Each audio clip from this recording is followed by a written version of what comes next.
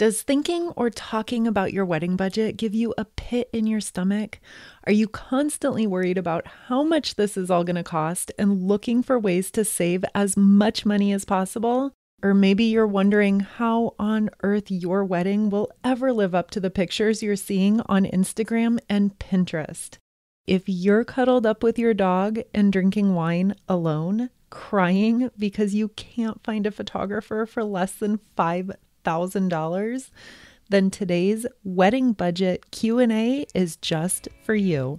That's all coming up next on the Wedding Planning Podcast. Welcome to the Wedding Planning Podcast, where you're about to join thousands of joyful and intentional engaged couples who know that the wedding celebration of their dreams is possible, even if right now things feel a little stressful and overwhelming. If you're newly engaged and wondering where to even begin with your wedding plans, check out our totally free engagement starter kit, where we unlock exactly how to design the wedding that you want minus the crushing stress, decision fatigue, and overwhelm felt by so many engaged couples.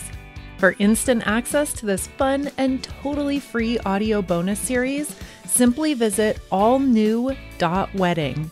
Enter your first name and email address and check your inbox.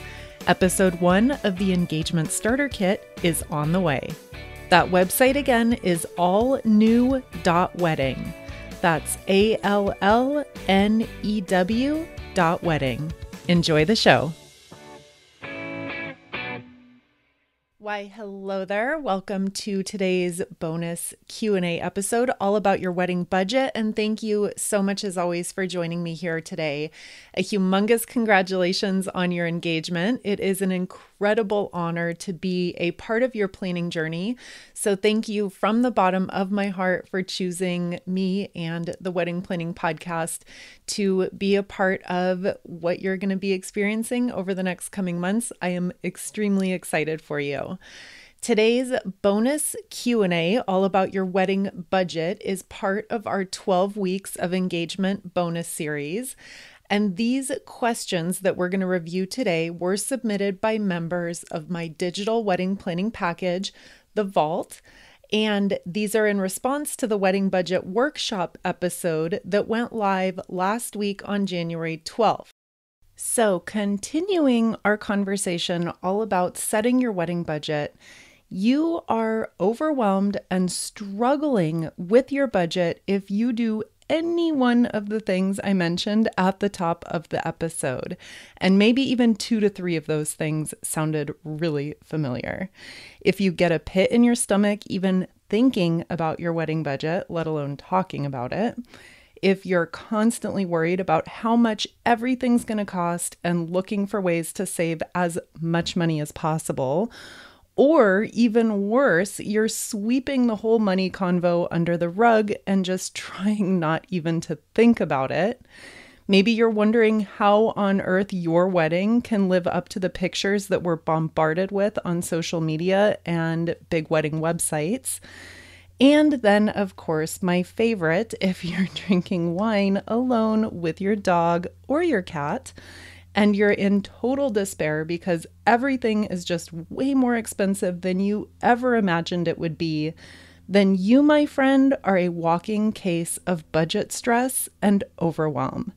And we cannot have you going through life these next few months shouldering all of that. This level of anxiety not only creates toxic stress in your daily life that's really bad for your physical health, but it's also going to suck the fun out of your engagement. And it doesn't have to be that way.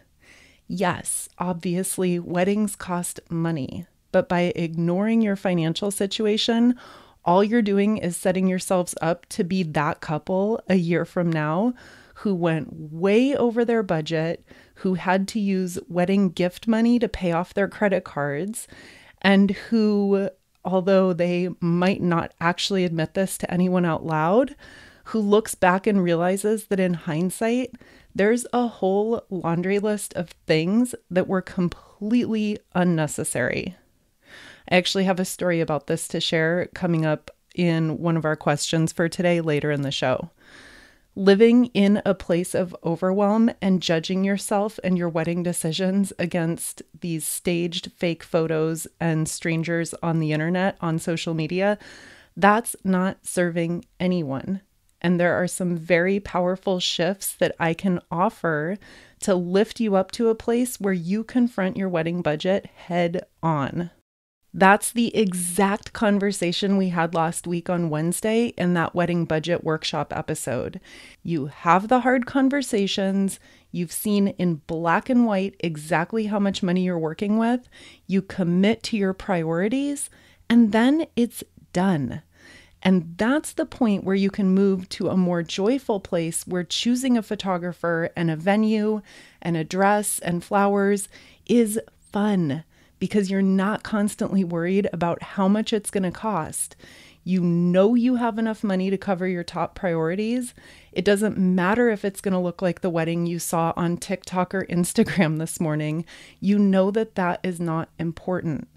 This is where you can confidently invest in your priorities, tune out, and say no to the stuff that's not that important to you. And you're not even going to recognize that person who was alone and crying with their dog because everything was just too expensive and too overwhelming. And with that, let's dive into today's wedding budget Q&A. Our first question Hey, Cara, just diving into the Vault membership package and wanted to say thank you so much for this wonderful resource. We're newly engaged since Thanksgiving of 2021 and planning a wedding with a 25,000 to $30,000 budget for spring of 2023.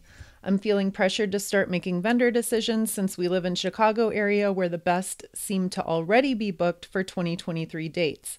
What advice do you have for finding the best photographer, venue, and caterer for our money? Welcome to the vault, and thank you so much for your question. It's a great one, and I have a good answer for you.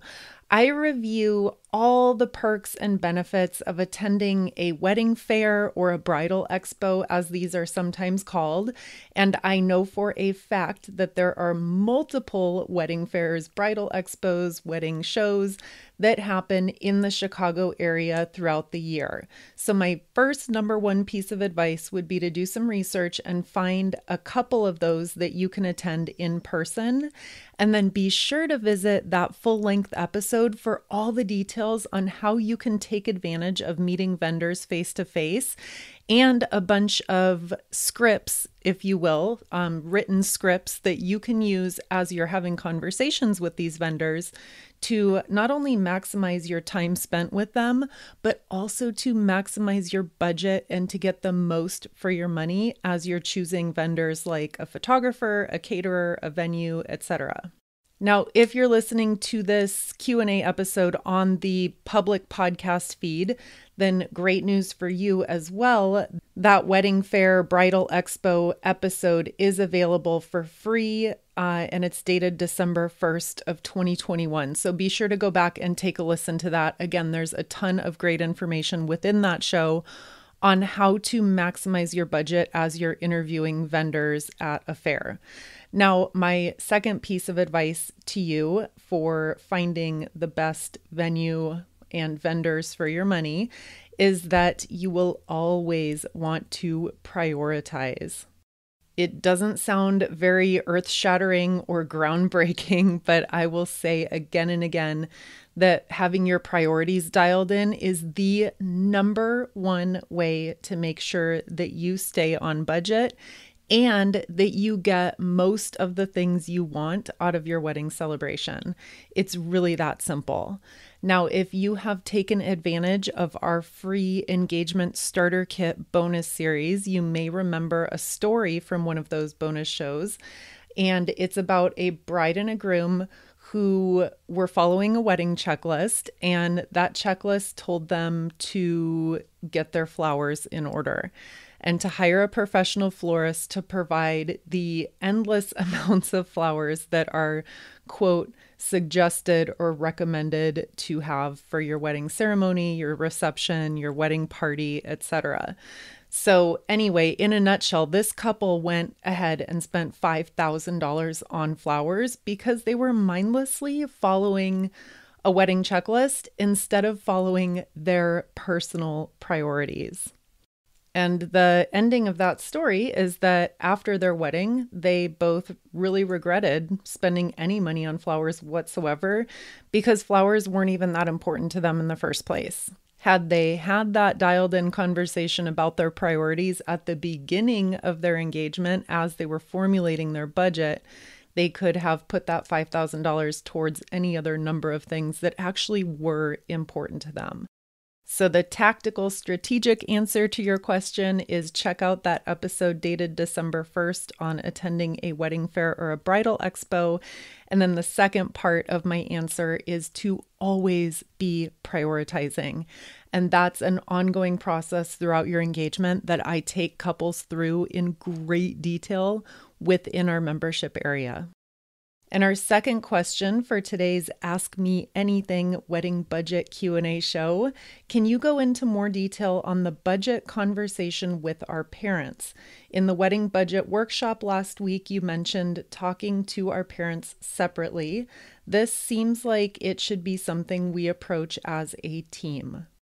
Thank you so much for your question. And yes, in the episode from last week on setting your wedding budget, my humble opinion is that the wedding budget conversation with your parents goes smoothest when you are each speaking separately to your own parents.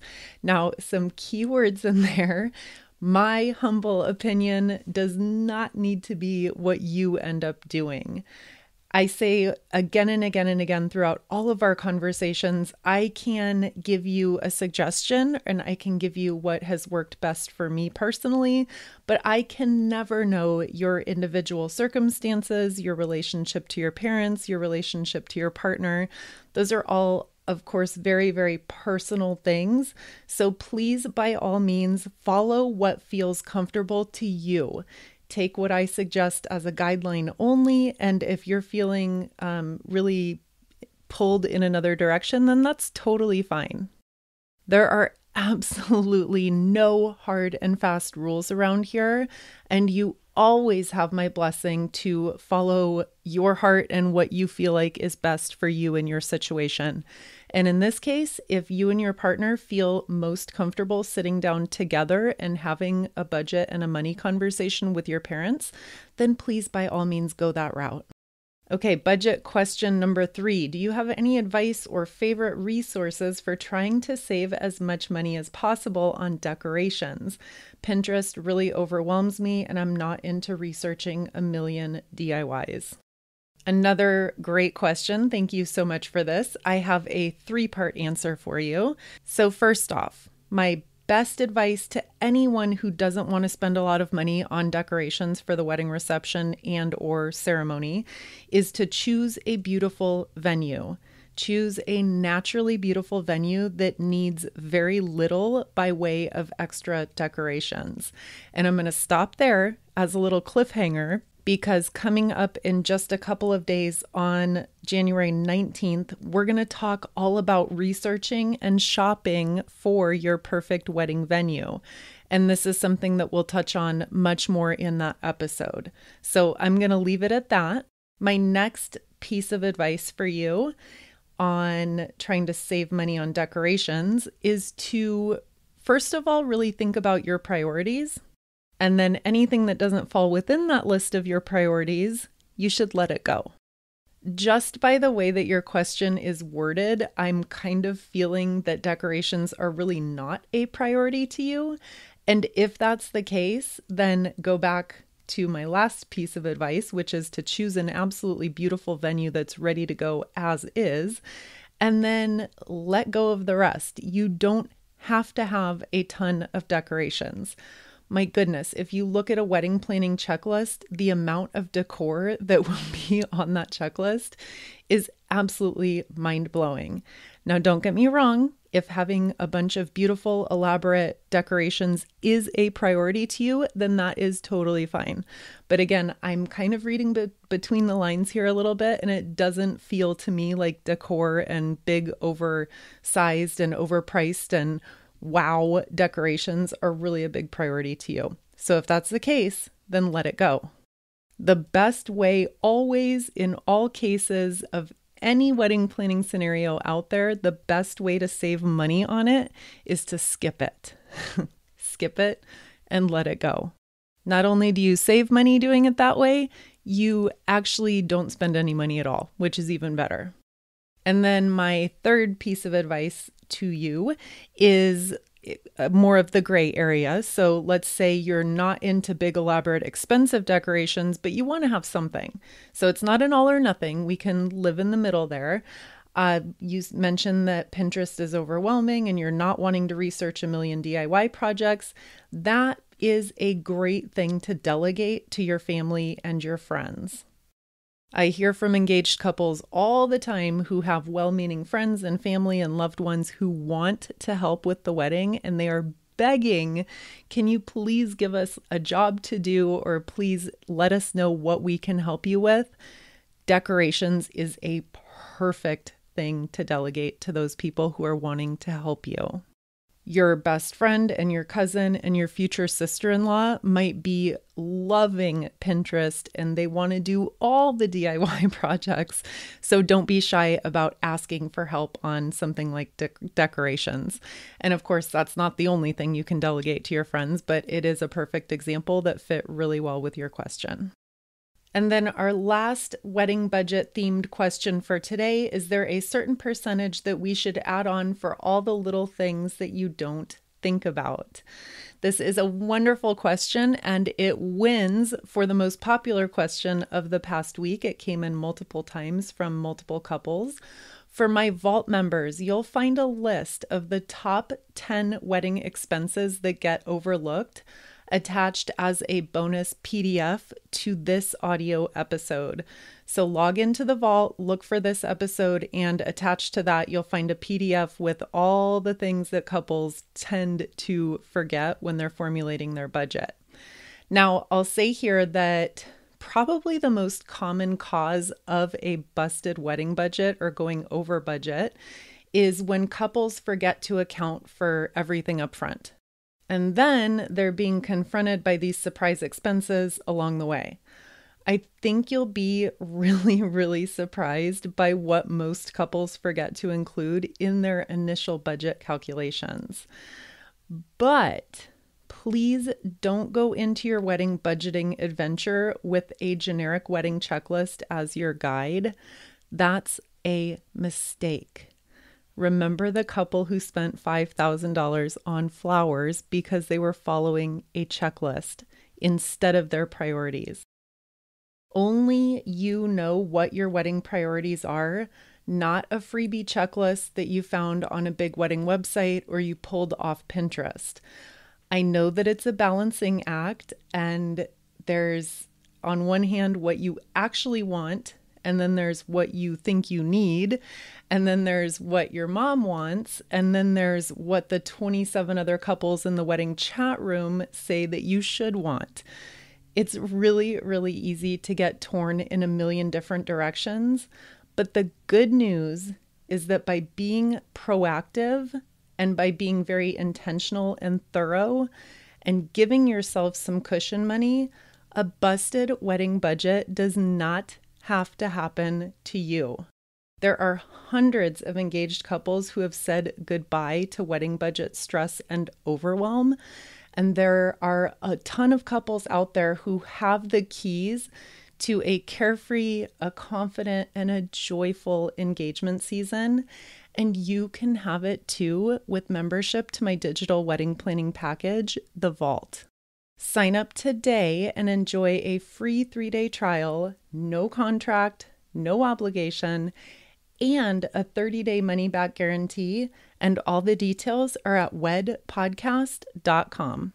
Coming up on Wednesday in just two days, I have an essential workshop style guide to researching and shopping for your perfect wedding venue. I can't wait, and we'll talk again soon. Thank you so much for joining me this week in the 12 Weeks of Engagement Season bonus series from the Wedding Planning Podcast. To access any worksheets, checklists, or additional activities mentioned in today's episode, visit wedpodcast.com and sign up for a free, zero obligation three day trial of my revolutionary digital wedding planning package, The Vault. Take advantage of the lowest membership price of the year when you sign up today at wedpodcast.com.